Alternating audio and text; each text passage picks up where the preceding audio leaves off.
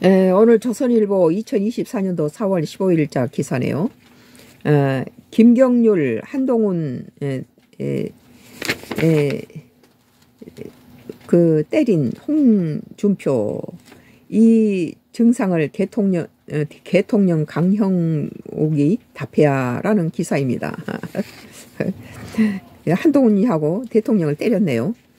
4월 어, 10일 총선에서 국민의힘이 108석을 얻은 대패는 대패를 당한 것을 두고 홍준표 대구시장이 연일 한동훈 전 비상대책위원장의 책임론을 주장하는 가운데 김경욱 전 비상대책위원은 15일 홍 시장의 일련의 증상들을 대해서 강경욱 씨가 답변하는데 맞다 하고 말했다, 말했습니다.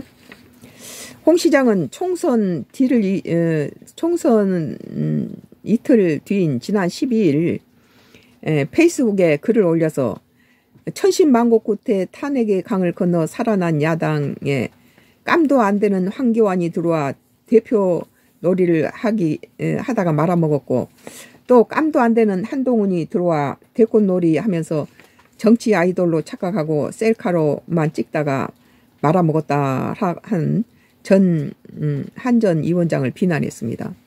아, 이 사람 입담이 거칠죠. 그것이 또 매력이기도 하지만.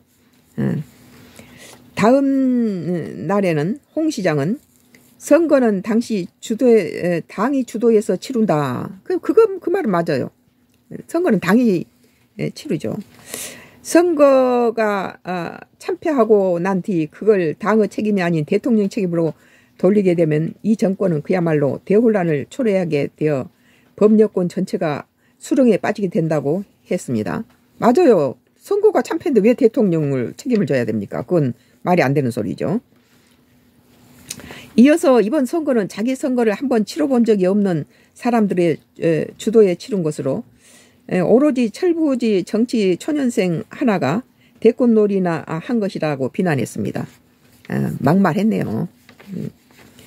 에, 뭐 저기 통쾌한 부분도 있고 또 어, 무례 참 이 이 사람의 홍진표 아이콘이 무례하고 에, 막말하고 어, 좀 자유분방한 말을 막, 막 함부로 하는 그런 타입이죠. 그러나 어, 또 바른 말을 해서 아픈 데를 찌른 부분도 있어요. 음, 개인적으로 나는 홍준표를 아주 싫어하고 뭐 계속 블로그 내막 30개 블로그를 통해서 홍준표 엄청 욕하고 까댔던 사람인데 음. 나의 정치적 코멘트로는 현 윤 정부에 필요한 총리감으로는 정치적 연륜과 경험이 많은 박지원이나 홍준표가 제격이다 그런 느낌이 들어요. 어, 개인적으로. 에, 개인적으로 홍준표를 매우 싫어하는 인물인데 윤 정부의 바른 말하고 그동안에 에, 쌓은 정치 연륜으로 윤 정부의 부족한 빈틈을 메워줄 총리감으로는 그동안 국정에 참여했던 탁월한 국정 경험자가 필요하다고 어, 봅니다. 홍준표 같은 인물이 총리가 되면 좋겠죠. 그 대구시장감으로는 조금 에, 에, 좀 넘치고 아까운 아깝고 대통령감으로는 좀 여러 가지 인격적으로 좀 음, 빈틈이 있고 그런데 에, 지금 윤석열 정부한테는 굉장히 많은 도움이 될 것이다. 뭐 꼭 홍준표가 아니더라도 에, 그 저기 윤석열 대통령이나 그 휘하에 거의 국정 경험자가 아, 필요하다고 보는 거예요.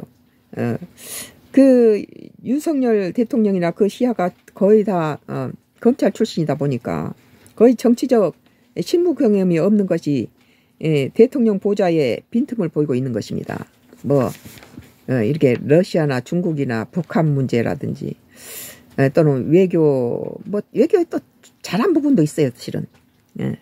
그 우리나라에 유익하게 만드는 뭐 어, 사우디 관계하고도 굉장히 좋아졌잖아요. 서로가 위민하는 굉장히 예, 좋은 관계고 어, 여러 가지 다른 외교 또 일본하고는 윤석열 정부가 참 잘했다고 봐요. 개인적으로 나는 일본을 문재인, 정, 문재인 정부하고 같은 예, 맥락에서 봤거든요. 어, 나는 일본하고 이렇게 하는 것을 옳지 않다고 봤는데 예, 아무튼 윤 정부가 예, 그 그런 또 시각으로 해서 한일 관계가 풀어지니까 예, 다른 부분도 어, 좋은 영향을 서로에게 미치고 있죠. 우리 한국 관광객이 너무 일본에 가서 많이 어, 갖다 딸을 쓰고 오니까 그게 문제지만.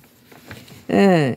그래서 어, 음, 에, 그 전, 어, 그 전, 이게 윤석열 정부에게 박지원이 같은 분이 참, 에, 많이 도움이 될 거예요. 그러나 그게 야당이잖아요.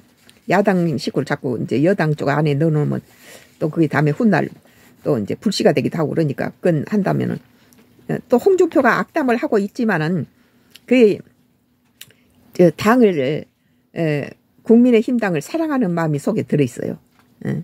뭐 이게 에, 뭐 탄핵 때 그 겨우 살려놨더니 이제 이렇다라고 이제 갖다 이제 자기 식구 이제 때리는 건데 에, 사, 사랑이 애정이 없이는 그, 그런 말 못하죠. 예. 남이 다른 땅에서 하는 짓거리하고 좀 다르죠. 음.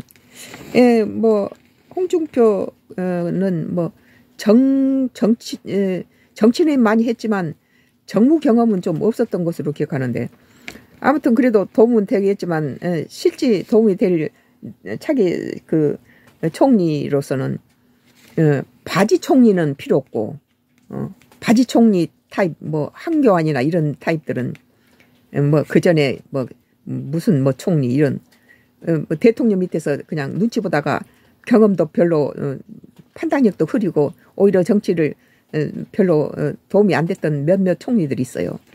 예, 그런 사람 말고 에, 저기 여당 출신으로서 정무에 능통하면서 자기가 차고 에, 해외 국제 정세도 잘 알고 그런 어, 정통 에, 그, 정, 그, 그 역대 정부에 많이 예, 관여했던 그런 총리를 어, 자기한테다 어떤 권한을 주면서 예, 했을 때 예, 이렇게 정치라든지 예, 정무 경험이 없는 대통령을 보좌하는데 많이 도움이 될 것이라고 예, 저는 개인적으로 보는 것입니다. 에, 오늘 조선일보 2024년도 4월 15일자 기사 에, 김경욱 한동훈 아닌 홍준표 어, 예, 이, 이 증상은 대통령 강형욱이 답해야라는 기사에 대해서 나의 정치적 코멘트를 했습니다.